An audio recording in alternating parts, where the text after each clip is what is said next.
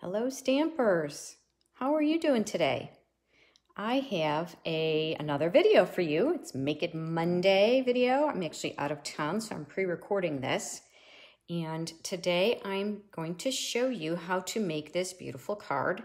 We're going to watercolor, and this is called the Spotlight Technique. We're using StazOn ink. I'm going to show you how to clean your stamps after you use StazOn ink because there is uh, some there are some special things you need to do with it. And this is the card we're going to make. Isn't that pretty? There's the inside and the envelope. And we are going to use watercolor pencils uh, for this too. So let's get started. My name is Linda Edwards. I'm with Crafty Heron Designs, and I am an independent Stampin' Up! demonstrator. I hold card classes in my home and I also participate in some online card classes. There's something for everyone here at Crafty Heron Designs. So our, uh, our materials for this card we're going to use today, I've got a basic black cardstock. It's cut at eight and a half by five and a half, and it is scored at five and a quarter.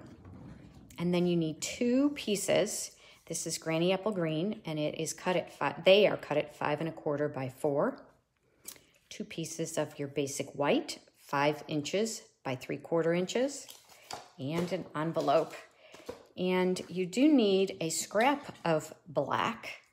This is the scrap. I have already die cut this. I'm using the circle dies, the stitched, uh, new, excuse me, the um, layering circle dies, and these are retiring. So by the time you see this, um, on Monday, May 3rd. That'll be the last day you can order these dies if you don't have them. But you can use something else to, to create this scallop. And this is just a, a piece of um, black cardstock. And it's about uh, one and three quarter inches in diameter. So here, let's get started. So that's those are your materials. So of course, the first thing we'll do is we'll take our card base and get it nice and flat. And then we are going to start with our stamping. Uh, let's see. So the um, inside, we are going to stamp. I'm going to get a piece of scrap here because I am going to go off the um, off the corner a little bit with this stamp. So um, I am using StazOn ink because I'm going to be doing some watercoloring. StazOn uh, will not run with the watercoloring, so that's why I'm using the StazOn. And this stamp is from the Ornate Style stamp set. It really is a beautiful, big, bold stamp set. You can do so many different things with it. You can watercolor the whole thing. You can do parts of it. It is a big, bold, beautiful stamp set. All right. So the first thing I'm going to do with this stamp set, let's see, I want it this way, and I'm going to leave some room for my sentiment. So this is going to be the very top of my card. So just press that down, make sure, give a little few minutes to absorb into the cardstock. And there we go. All right. And then the sentiment is thank you. The sentiment is from the Happy Thoughts stamp set. This one is retiring as well. Beautiful stamp set. Love the sentiments. And the big bold font on that. Okay, so that's the first one. And now for the inside, I'm going to use that same stamp, also with the StazOn, although it wouldn't be critical that you use StazOn with this because we're not doing any watercoloring on the inside. But certainly you could, you know, there's no reason why you couldn't go ahead and watercolor. And I'm going to just kind of put this off to the side. Let's see, what do I want to do here? I think I'm going to do it like this. I just want a little bit of that to be visible on the inside of my card. There we go. Isn't that pretty? Now you can see there's a little bit that I missed there. I could come back with the um, with a fine tip magic marker and fill that in, or our black um, Stampin' Write marker. and fill that in a little bit. But I don't think it's so, it's so small, you're not gonna hardly even notice it. And then I'm gonna also do this corner on my envelope. Gotta give your envelopes some love as well. Now see that one I am gonna come back and fill in. I think it's because, you know, on the envelopes you've got the flap there, so it didn't quite, didn't quite cover it all, but that's okay. We can fix that. Okay, so now let me show you how you need to clean. There's a special way to clean your StazOn stamps.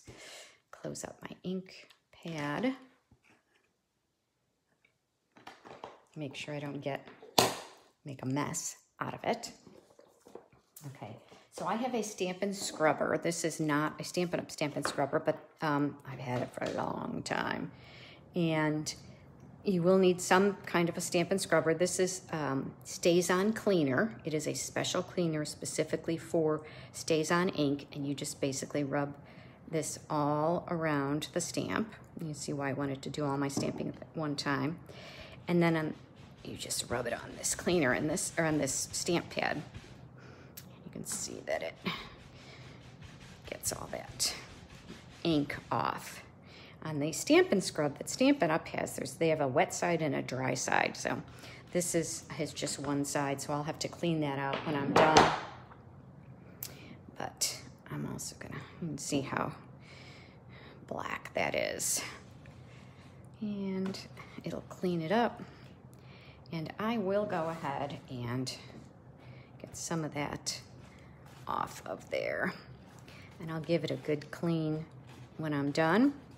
I'm actually gonna also come in with the Stampin' Mist and clean up the stamp afterwards. Now the Stampin' Mist is what we use to clean any of the red rubber stamps. It's also available from Stampin' Up. This is the Stampin' Mist rubber stamp cleaner. And of course, we also use the, um, uh, the purple scrubber, right? And that will also work. But before I do that, I wanna make sure I get some of that cleaner off of there. So a little more involved with on, but you know, that StazOn ink is really good for a lot of different things. There we go, look at that. Nice and clean. I'm not gonna make you watch me clean the big one, but I wanted to show you how clean you can get that. Um, if you don't, you really do get uh, staining on your stamp, which, you know, isn't horrible. But we don't, we'd like our stamps to be pretty. We don't want them to be, to be stained. All right, so now I'm gonna go ahead and finish the inside of the card and then we'll get to the really good stuff. So the first thing I'm gonna do, oh my goodness, I don't have my glue here. Could that be? Hold on.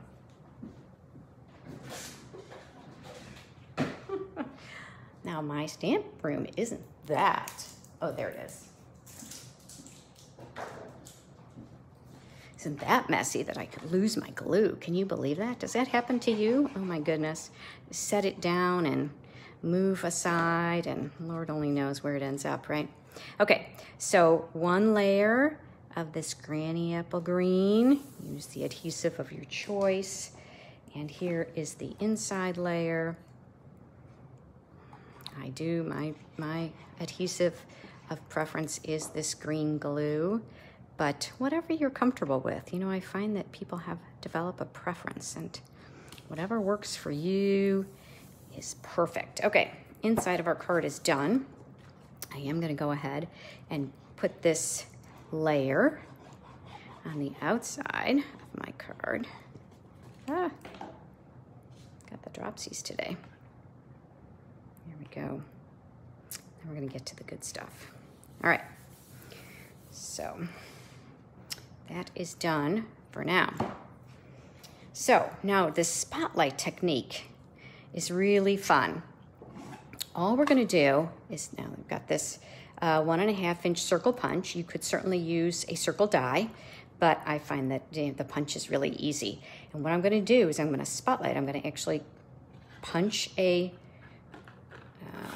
I think we'll go this way, a hole in my card and I'm kind of watching, okay, where do I want you know, what do I want to, to see? Let's see, that way, kind of go all the way around there. I think I'm gonna use this one.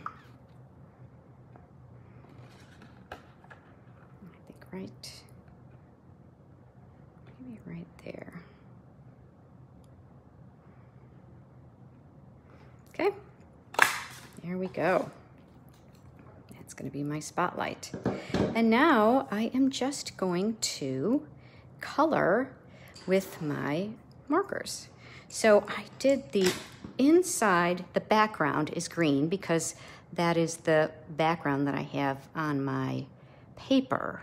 So I find that if I color with the background first, then I can see where the flowers start and end because all those petals are a little difficult to see, right?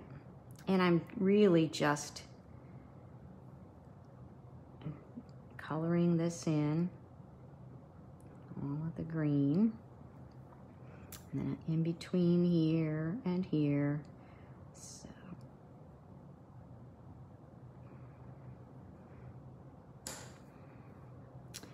That's it, uh, a little bit here.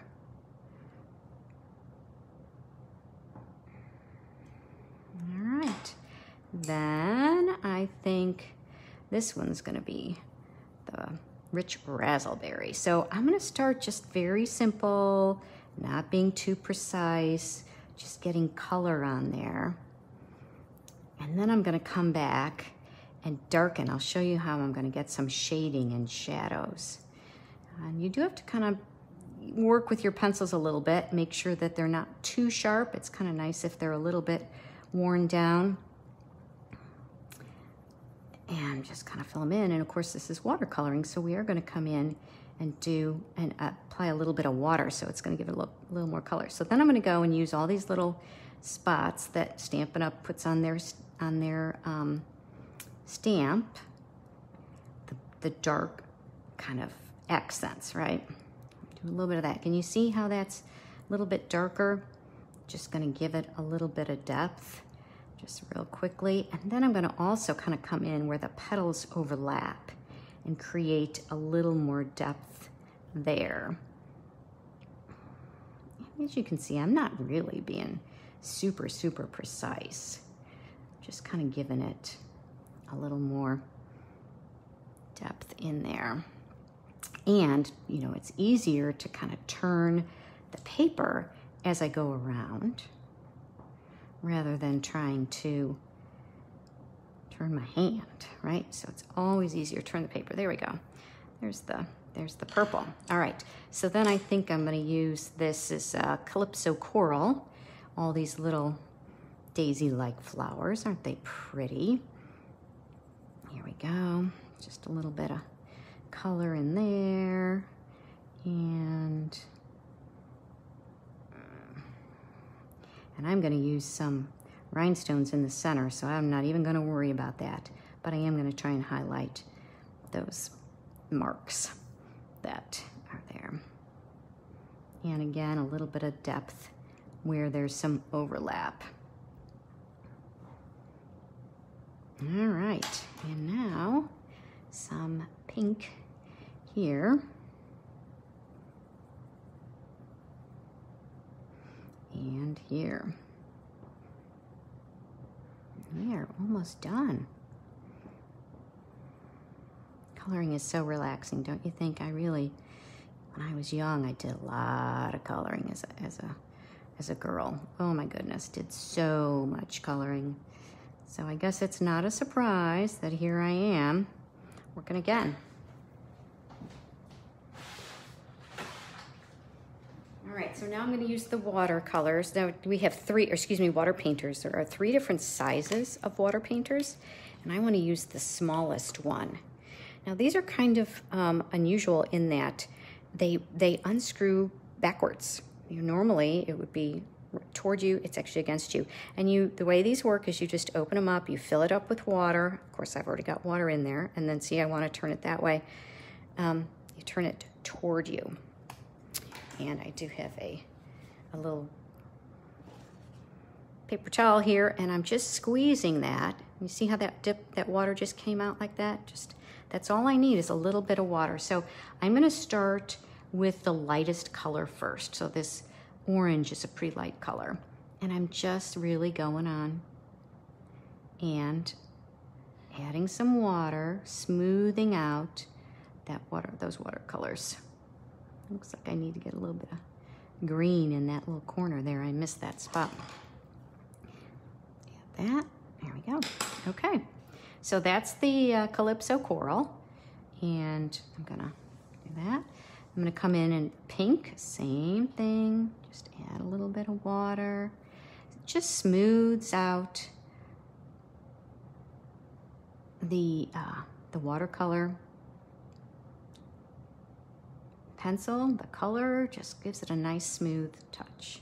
All right, I'm gonna do the green next. And I think this is the one you can really see the most, how it really just adds a nice depth to the color. Here we go. All right, last one is this rich raspberry. There, oh yeah, you can see it there, can't you? Oh, I hope you can see this. This is so pretty. It really just brings that color to life. And I'm just trying not to go into the other colors, trying to keep my colors true. I don't really care if I go over my table a little bit. But there we go. Okay, so pretty. Oh my goodness. That's it. That's it. And I just wiped that right on my towel. There's oh, a little bit of ink. I just basically clean that, just run water through it until it, it's not making any marks on my paper towel. And then I'm done. Put that away. Okay. Can you believe it? We are almost done. Okay, now I'm gonna attach this card front to my card base. Again, just use my liquid glue. I'm letting, given that uh, watercolor paper, it's not even watercolor paper, it's just regular uh, basic white cardstock. All right.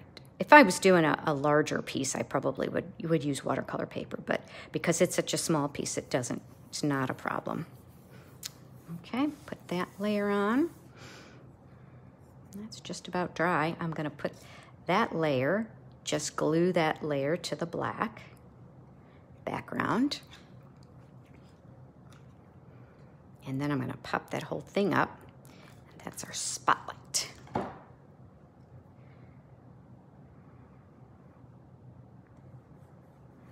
we go. Okay, dimensionals. Go. Okay, now the moment of truth. Now I have to kind of line this up so that it meets, right? See that? So I kind of let line that up. Take my dimensionals off. It's a little easier to line it when it's got those stems, right? Because I can really see right where they're going. And just kind of checking all the way around. Let me see here. All the way around. Yep. All right. Ta-da! Isn't that pretty? Just love that. Just love it. And there's the inside. And then I'm going to show you all I'm going to do for this envelope. See how I messed that up a little bit? I'm just going to grab my Stampin' Write marker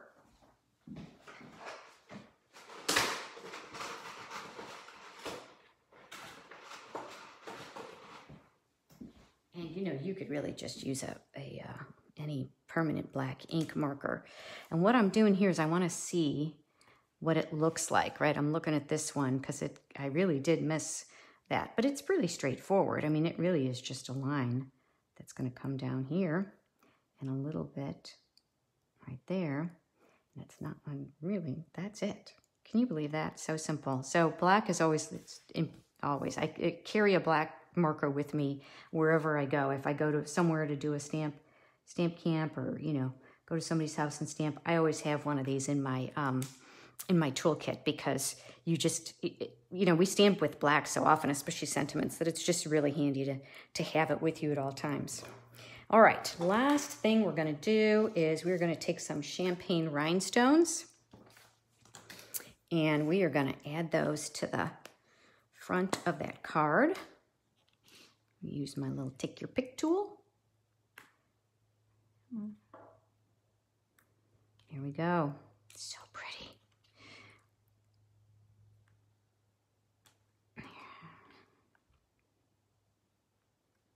Oh, isn't that nice? So pretty. And that's it. That's our card. So I hope you liked my little video today. Uh, if you did, please comment, uh, like, and follow me. Um, I will also have this video on YouTube. If you are following me there, would love for you to subscribe to my channel, my Facebook channel, my YouTube channel, so that you get a notice of when I come up with um, another video. And um, I'm here Monday mornings, so Make It Monday, and certainly I most often I am live, and if not, I will have something for you to see. So that is the spotlight technique. Stampin' Up materials, and there's the inside. I thank you for stamping with me. Hope to see you soon. Bye.